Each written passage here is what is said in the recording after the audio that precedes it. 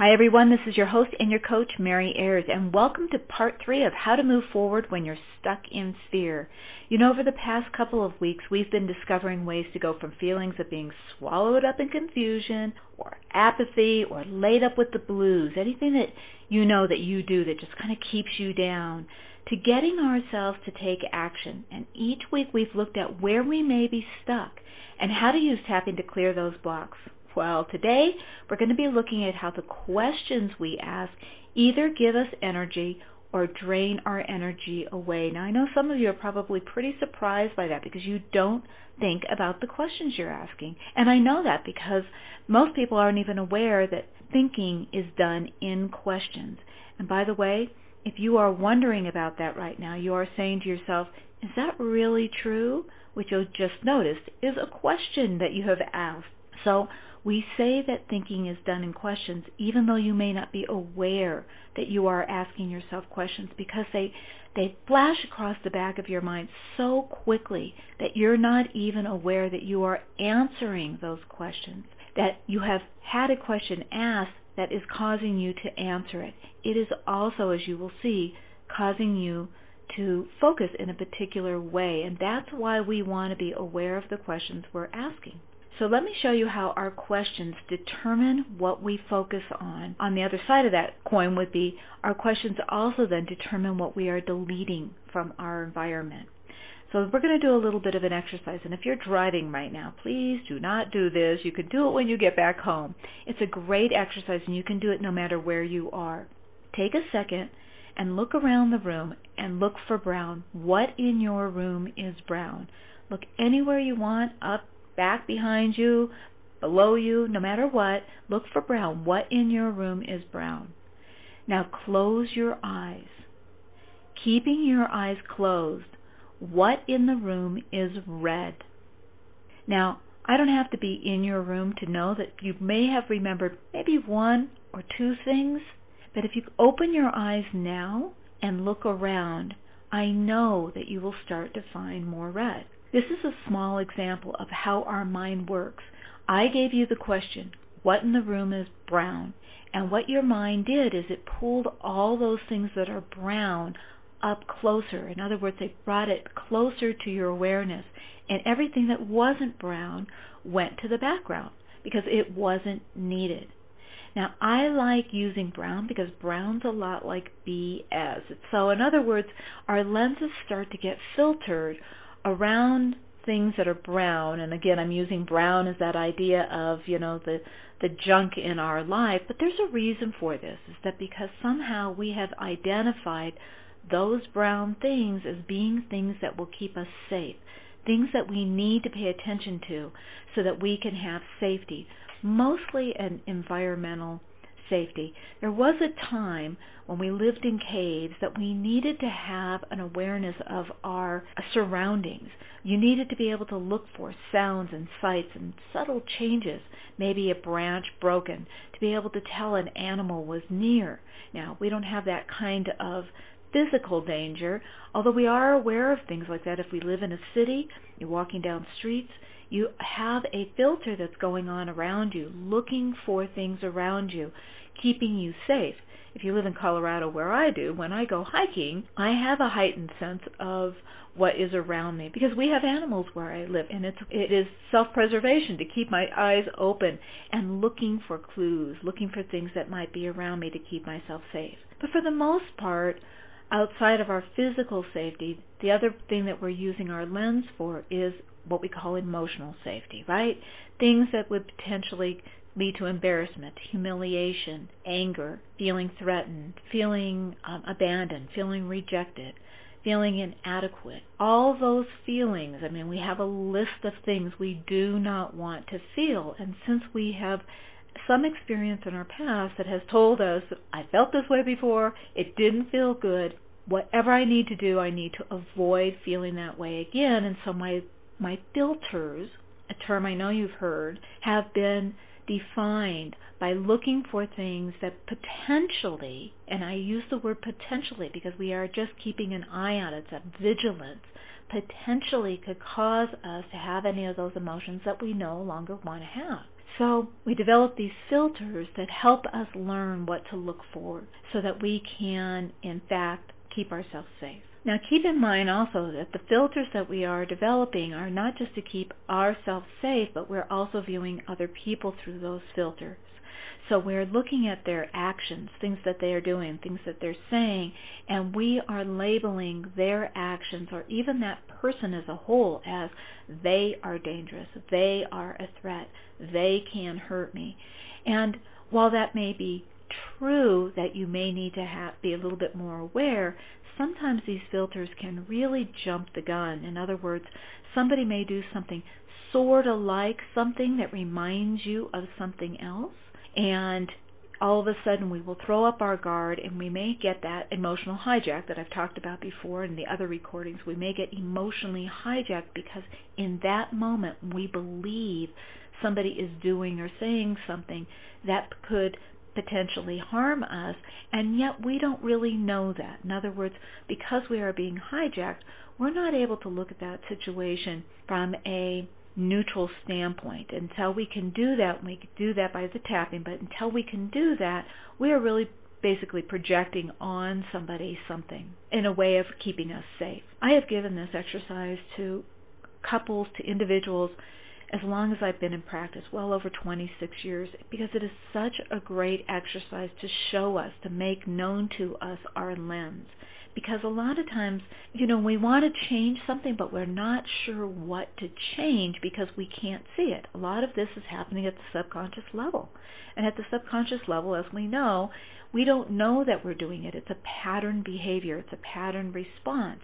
And so when we start to notice, then we have more control over about what we can change.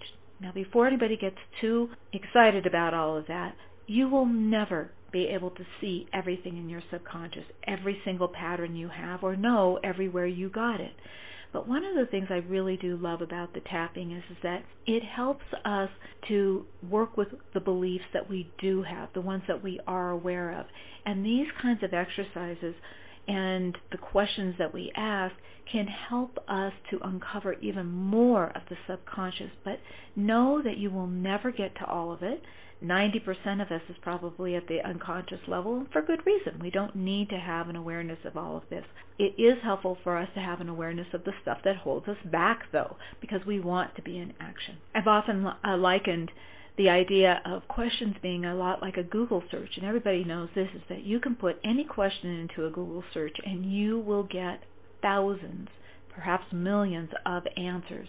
And yet, just because you come up with a lot of answers doesn't mean that you are getting good information. It has to do with the question that you put into Google. If you put in a high quality question, one that defines things in a way that will give you the information that you want, then we were going to get information back from that question, that query that's going to be helpful to us. If I put in a bad question, a non-defined question, something too global, um, then I'm going to get answers that really have much use, don't have much information. They're not going to help me in my query. So the quality of the questions that you ask will definitely determine the material that you get. And you can ask a poor quality question and hence get bad information back, and I'm going to illustrate that to you in a second, or you can ask a high quality question and, and then you'll get information back that will be very helpful. And at the end of this program, we're going to look at those kinds of questions. So, what kind of questions do we ask ourselves that drain our energy? Well, I'm going to offer you some, and I know that you are going to be familiar with these. We ask things like, you know, why can't I get going? Or what's wrong with me? Why am I stuck? Why can't I figure this out? Why can't I get moving? Why doesn't anything work for me? Why can't I meet someone? Why can't I lose the weight? Now, on one hand, you may think that these are great questions because you are exploring. I need to have the origin of the problem. I need to find the root of the problem because there's a belief that goes here that says if I can find the root of the problem, I can fix it. And if I can fix it, then I no longer have the problem. It's a very mechanistic way of thinking. Now, that works if you're in a car. Right? My, I go out there, my car doesn't work, it, it doesn't turn over, it goes make, make, make, make. And we go, all right, now let me get an idea of what the problem is. Because if I can sort out the problem, my battery's dead, then I can go get my battery charged. I may have to replace my battery, but as soon as I do, I put the battery back in, and boom, I'm on my way and I'm going again. That is the kind of research or process that one would take for a more mechanical problem. But we are not mechanics, we are human beings. And so to ask ourselves, why am I not doing something, implies that there is a one source type of, of answer for that. That if I could just figure out that one thing that keeps me from taking action, whatever my problem is, then I can fix it. And what we'll find are that people spend so much time trying to get to the root of something when the truth is here's the problem with why questions. They imply single causality, but that is not necessarily true. So, in some ways, sometimes why questions are not helpful. They're asking for a search. It's like that bad Google search I mentioned earlier. They're asking for a search that really isn't a helpful question. Some of these other kinds of questions that we ask ourselves really drain our energy. For instance, you know, what's wrong with me? Now, again, from a standpoint of somebody who's saying, you know, yes, but that's what I need to do. I need to explore that kind of question so I can figure it out. And then if I figure it out, I'll fix it. It's been a question I've had all my life. But here's why that is an energy draining question is because within that question there's something we call a presupposition. And a presupposition is something that we already believe is true. It's already in the question, but we never question the question to see if it is right or wrong. For instance, what's wrong with me implies something is wrong with me, and I need to figure out what it is. So when we ask these questions, we don't ask, well, wait a minute, is there something really wrong with me? If we go back to that, instead of just saying, well, what's wrong with me? Hmm, I got to figure it out. See, we haven't questioned the question. I've often said it's like, remember in math, you'd write down the problem out of the book and you would come up with an answer and you would get back from the teacher and a big red cross on it says it's wrong you've done this wrong and you're looking at that problem and you're adding it back up and you think to yourself no this is the right answer i have the correct answer to this problem. And you take it up to the teacher and you say to her hey what's going on here? I got this right. Why did you mark it wrong? And she looks at you and she says oh you did. You got the right answer to that problem. However you wrote the problem wrong. You wrote the numbers wrong. So hence it's not the the problem from the book. You didn't answer the problem from the book. You did get the right answer though. So my point of this is, is that you may be looking for an answer for something that is not the right question to be asking. What's wrong with me? How come I'm so stupid? Implies I'm stupid. Now I'm trying to figure out how come I'm so stupid? Why doesn't anybody love me? Presupposition in that is that nobody loves me. I'm unlovable. Now I'm trying to figure out why that is. These are endless loop questions. Because really, come on, what's wrong with me? You could go forever, an entire lifetime, and believe me, people do. I've had people, I've been in therapy for years and years and years trying to figure it out. And I go, well, you know what? It's because you're looking to uh, for an answer to a poor question of what's wrong with me. And now you're trying to figure it out, and you've gone all kinds of answers over the years. You've signed up for one more program, you've taken one more step to figure it out. But guess what? You would, no matter what you did, you'd still find yourself asking that question, and your mind says, "Well, it must be something else. It must be something else." And I've got to get to the bottom of it in order for me to fix it. Well, we're challenging that. And I know this is hard for people because they really believe, well, that's not true. If I could really figure it out, then I'd be able to fix it. So here's what I want to do because I'm not going to convince you. I know I may have gotten your curiosity up and maybe I hope that to have got a little bit of a knack of questioning in there for you, just enough curiosity for you to continue to listen and at least leave your mind open from this. Because the idea that you don't have to fix your problems is one that you're going to resist. And by the way, I'm not saying we don't fix our problems. What I am saying is that when we adjust our questions, we will have a new direction to go in, and the, that our new direction may move us along further so that we can get into action. And then on top of it, we can ask better quality questions, ones that will really draw from our resources, that will draw from our strengths. Here's how we're going to start this process. Think of a question that you ask on a frequent basis, and maybe let's. I'm going to take one like, "Why can't I figure things out?" And take that question and then make it into a statement. So for why can't I figure things out? The statement becomes I can't figure things out. If it was what's wrong with me, the statement is something's wrong with me. Now, if we take it an extra step, we would actually go to the belief behind that. So for our question, why can't I figure it out? It becomes the statement, I can't figure things out, which becomes the belief there's something wrong with me. So that's how we find those core beliefs. We take our question, we make it a statement, and then we look at the belief behind it, which must be there's something wrong with me. That's why I can't figure things out. And then we try and spend our time trying to learn what it is. But here's the irony in that you have a belief that you can't figure things out which is more dominant than the idea that you can figure it out. So you're almost canceling out the thought every single time. And I hope you're following this because you may have to listen to this a couple of times because sometimes it feels like I'm saying double talk. I'm saying the statement and then I go back and I go, wait a minute, my question isn't in line with that. I'm, I'm all mixed up. And you're right. It is mind boggling. This is why we get so spinning our wheels. This is why we sit still, like deer in the headlights. We're going, I don't know where to begin. I don't know how to go about this. And it's because we're asking a question that already has a built in brake. It's almost like the emergency brake is set. There's no way you can figure out if your belief is, I can't figure it out, or I'm not smart enough to figure it out, and you're trying to figure it out. Remember the example I always give to somebody is, that a lot of times I'll have people will give me a call and say, I want you to work with me on my procrastination. I am a procrastinator, and they want to change that. And I say, well, you know, part of what you're going to you're going to work with is letting go of the identity I am a procrastinator, because as long as you are absolutely sure that you are a procrastinator, then anytime you finish a project or you complete a project, you will consider it the exception it's an exception to the rule that you are a procrastinator.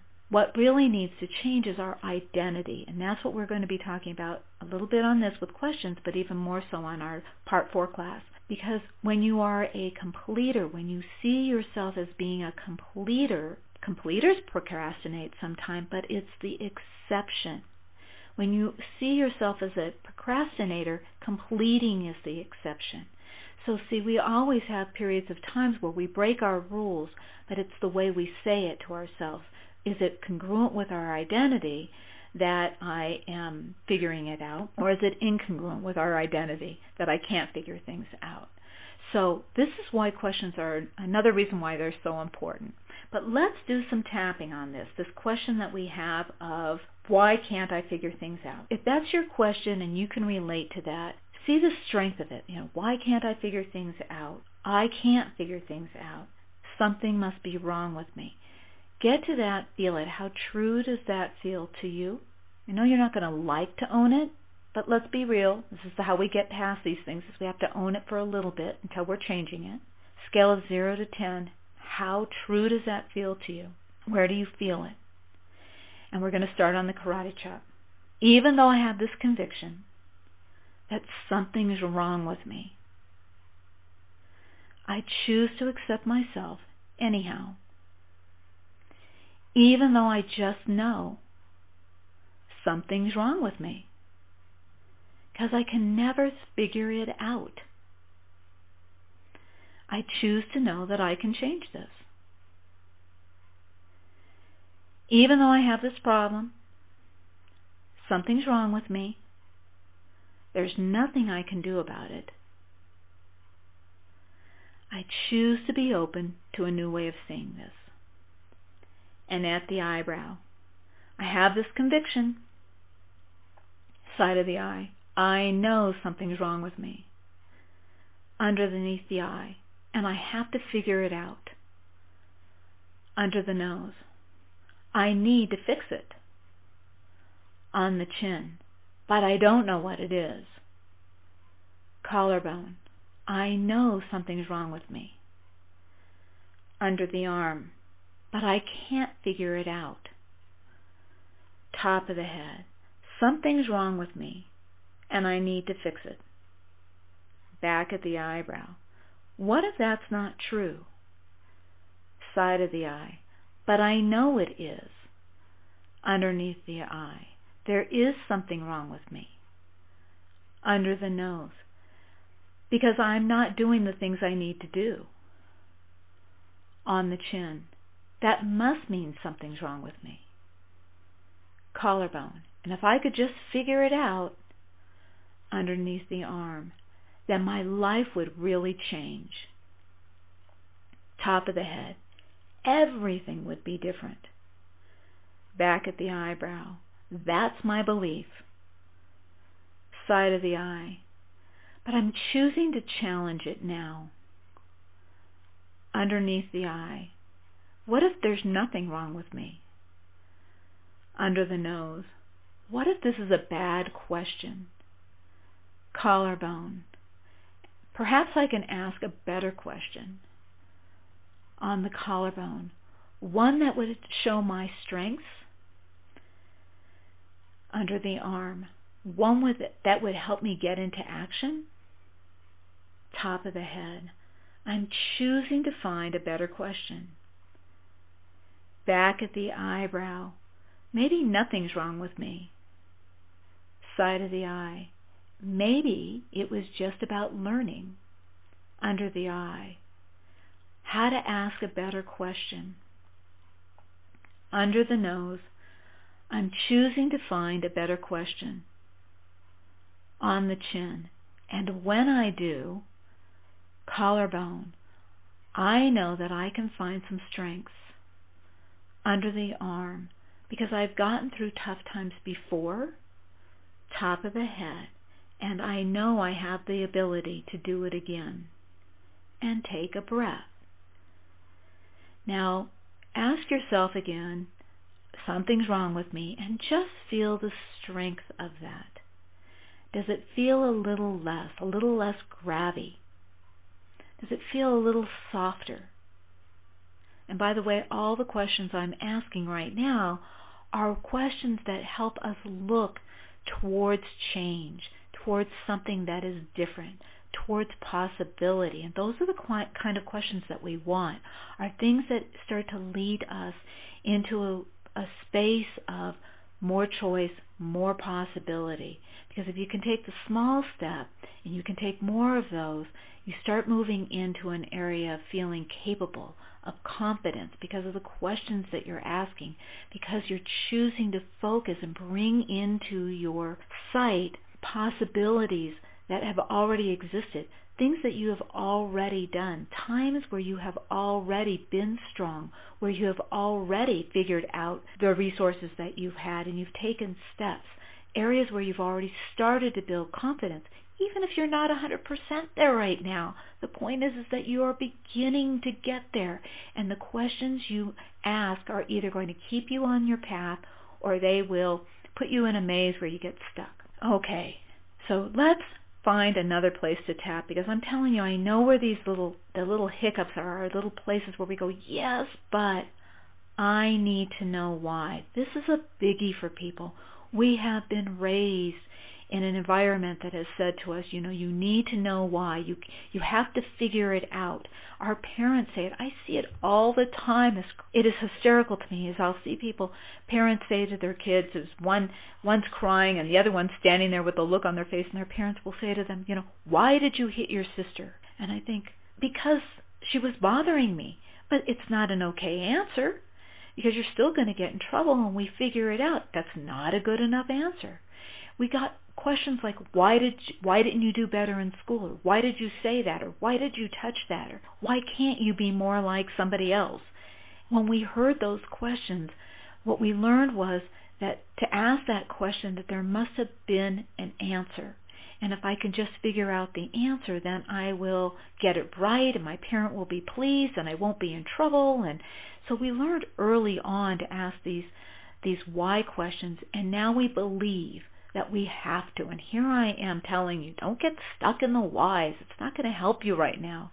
So the first thing we want to do is tap on my need and my my rebellion about I do have to know why, Mary. Doggone it, I won't be able to fix anything if I don't know why. So while I've got you all riled up, let's get on that karate chop spot, shall we? Even though I have to know why. I have to get to the bottom of it. I have to figure out what's wrong with me. I choose to accept myself now, even though I'm asking these questions. Even though it's a must for me to know why. I've been searching forever. I can't stop now. I choose to know it's possible for me to be okay now even though I'm not okay right now because I don't know why. And I need to know why. I need those answers. I need to fix me. I'm open to the possibility that there's nothing wrong with me. And that if I could ask a new question, I could discover my strengths, my resources, my gifts, and I could offer them to myself and the world. At the eyebrow, I have to know why. Side of the eye, they said I should know why. Under the eye, I got in trouble if I didn't know why. Under the nose, if I can just figure out why I am the way I am. On the chin, then I know I could fix it. Collarbone. I know I could find somebody else to fix me. Under the arm. Then I would be fixable. Top of the head. Then they would love me. Back at the eyebrow. Then they would have stayed with me. Side of the eye. Then I could get them back. Under the eye then they would accept me underneath the nose. So I have to know why on the chin, or I'll lose them forever on the collarbone. But I wonder if it's possible under the arm for me to entertain the idea, top of the head, that there is nothing wrong back at the eyebrow. Maybe there's nothing wrong with me. Side of the eye. That doesn't mean I did everything right. Underneath the eye. But that doesn't make me wrong. Under the nose. My actions may have not have been great. On the chin. But I can learn to change that. Collarbone. I might have said something that wasn't so great under the arm, but I can choose again on what I say. Top of the head, those are behaviors. Back at the eyebrow, and everybody screws up sometimes. Side of the eye, that doesn't make something wrong with me.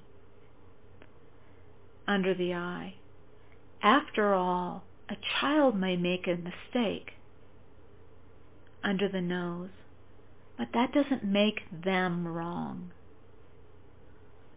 On the chin, they can learn. On the collarbone, they do plenty of things right. Under the arm, I choose to change this question. Top of the head, I choose to know that I am not my actions. Back at the eyebrow, I can change my questions. Side of the eye, without knowing why. Under the eye, just for life to be better. Under the nose.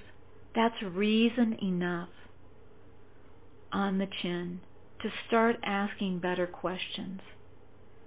Collarbone. Questions that allow me to appreciate myself. Under the arm. Questions that allow me to grow. Top of the head. Questions that allow me flexibility and forgiveness. Take a breath. Now feel the sense of I need to know why. You probably will have to tap on this again because, again, we heard it so many times. And the questions are kind of slippery. You know, we don't know what we're asking ourselves. It's one of the things when I'm coaching with somebody, I'm so aware of the questions that they're asking and I can hear it, but I know that if I threw them all back at them right then and there, they would they wouldn't know what I was talking about because they they're not aware of the questions they're asking. So here's your call to action this week. We're going to look at what are some questions that we want to ask instead. What is a good quality question? So let me throw some of these at you. And you can listen to these again, write them down, and if actually I have got a list of some really good questions. So you may email me at mary at tapintoaction.com and ask for that list of why questions. Good, healthy why questions and some other questions, and I would be happy to send it to you. So just get a hold of me, Mary at tapintoaction.com, and, and ask for the why list. But here's an idea of some different kinds of questions. So you can ask how questions. How can I move now? How does it feel to feel good? What makes me smile? What was the last thing I laughed at? What if I could? What if I'm already starting to do it? What would I notice? What if I noticed more of that? How would that feel? What difference would that make? What would I be telling myself when I'm noticing that things are changing? How am I feeling better? Do you hear the quality in those questions? Do you see how they ask for us to focus on a way where change is taking place, where our energy is, where it has been. What does it feel like? Where do I feel it in my body? How would I smile when I'm feeling good? What would I notice that would tell me change is starting to take place, that I am feeling better, that I am noticing these small changes, that I have found some new strategies, that I am seeing myself in a different light. I love questions, and there's no problem with asking questions. It's the quality of the question that we want to really embrace more and start to ask better questions.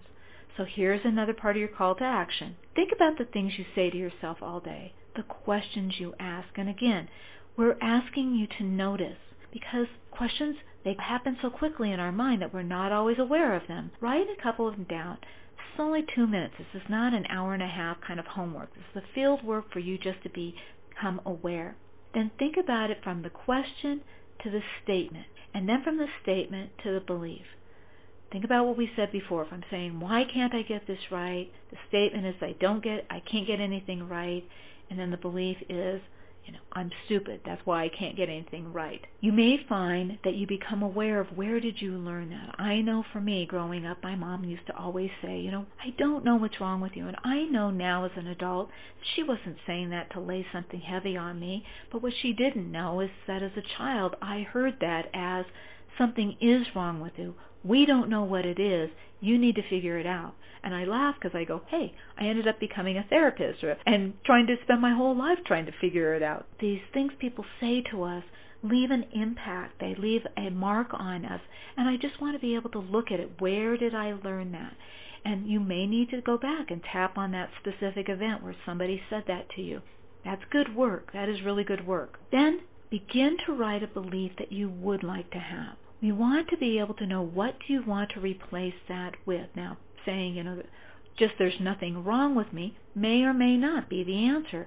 But play with what kind of beliefs you want to own. Which ones do you want to condition in? Because in our next show, I'm going to show you how to start conditioning those beliefs into the body so that they become who part of who you are, part of your identity. You're always going to ask questions. We just want to ask better questions.